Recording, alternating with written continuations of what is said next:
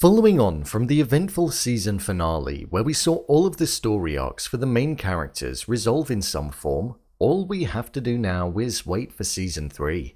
With a third season being confirmed by the creator of the show, Mike White, it not only shows the popularity of the new anthology series, but it also highlights the yearning to want to see more.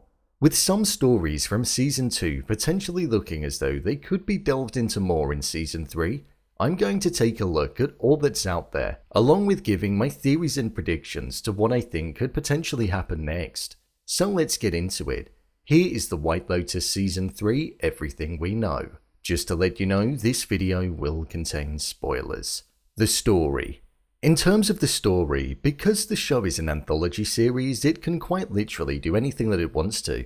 It doesn't rely on the previous season for another one to function. As long as there's a distinguishing factor that makes it part of the show, then it's okay for it to be deemed as the same universe. And for this one, it's the fact that it all takes place at the White Lotus Resorts spread all over the world. Tanya was the only main character to return from the first season of the show, along with Greg, and now with her gone, it isn't looking like they're going to be able to reprise her role. I've got a couple of different theories as to what could occur in Season 3.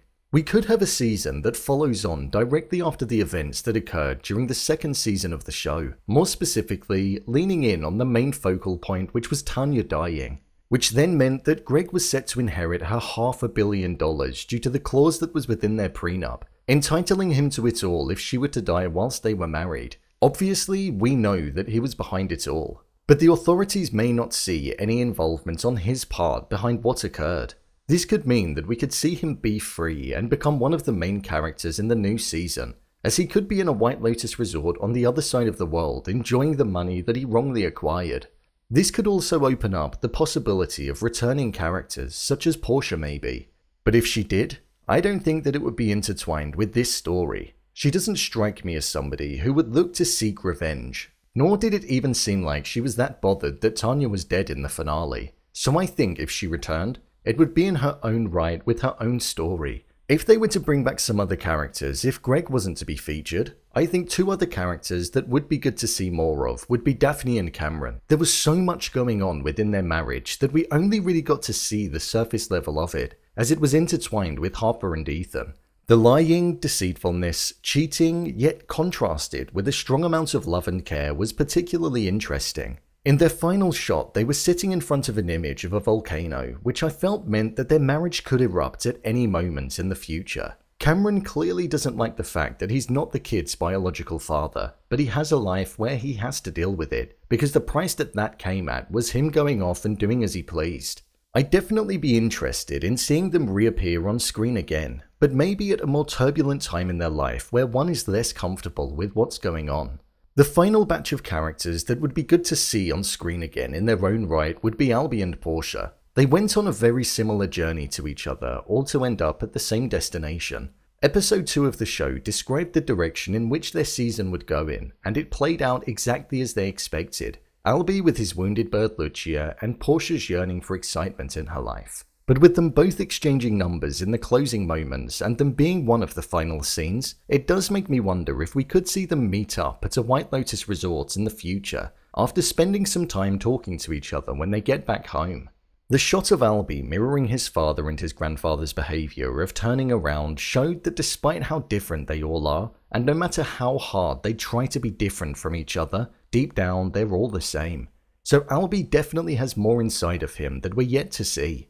Plus, Haley Lu Richardson did a phenomenal job in season 2 and created a character that I'd love to see more of. In terms of the location of the next resort, we've had Hawaii in season 1 and we've now had Sicily. The creators of the show have said in the past that they're looking to potentially go to a different continent and potentially go further east on the globe. So we could see the show go in a different direction geographically, which I think would most certainly be interesting. The first season was focused on money, the second season was focused more on what being intimate with somebody could bring, so season 3 could potentially focus on power and status. That's what I think anyway. Either way, I think there's plenty of opportunity to explore a recurring character, potentially pick up the story of what Greg did with the money, but also the possibility of starting fresh, which I think it has the opportunity to do. If a set of characters does return from season 2, I think it should only be one set, I would also hope that there would be some strong symbolism or intertwinedness with what is appropriate within the country that they visit. For example, we had the Testa di Moro in this season, accompanied by artwork that provided haunting subtleties to what we eventually saw unfold on our screen. It added another layer to the show and was engaging in the sense that we were constantly guessing what it meant, so I hope that's the case too. The release date. In terms of a release date, that's something that's currently unknown at the moment.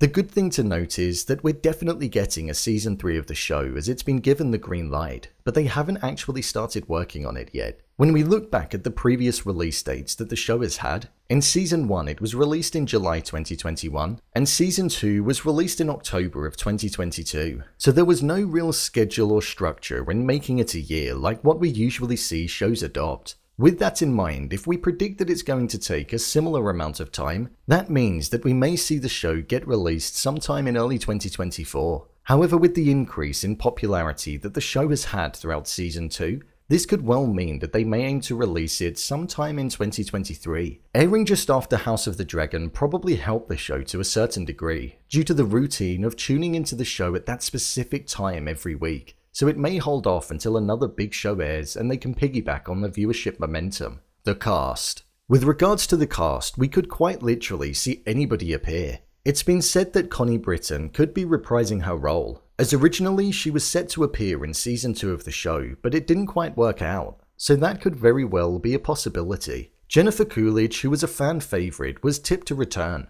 However, following her character's death in season 2, it doesn't look as though that could be the case, unless they decide to do a prequel type thing where they go back in time to a previous time where she visited the White Lotus Hotel Resort in a different country. So it seems as though for now, it will rely heavily on who they decide to bring back, and any new cast members that they decide to hire to portray new characters that are just as deceitful and out for themselves as the ones that we've seen throughout the first two seasons of the show. The cast are what make this show so good. The contrast in personalities, the intertwining stories, and the stories embedded within each other. I trust that the people in charge of casting will do just as good of a job as they have done the past two seasons. Unfortunately for now, that's all that's known about The White Lotus Season 3. I'm sure more information will be released as time goes on and we draw ever closer to the release of the new season. So, there you have it. The White Lotus Season 3 Everything We Know. If you want to see more videos such as endings explained, theories and predictions, and character breakdowns, then click on the i button. Or alternatively, you can head over to my channel where you'll find them all. If you'd like to give me a show or movie that you'd like me to review, then head over to my Twitter, at brainpilot underscore, and tweet me what show or movie you'd like me to review next. And finally, if you'd like to see what I rate the latest movies that don't quite make the cut to getting a dedicated video, then head over to my Letterboxd profile it's where I rate the latest releases in real time. What do you think is going to happen in Season 3? Leave a comment down below. And don't forget to subscribe. I'll see you next time.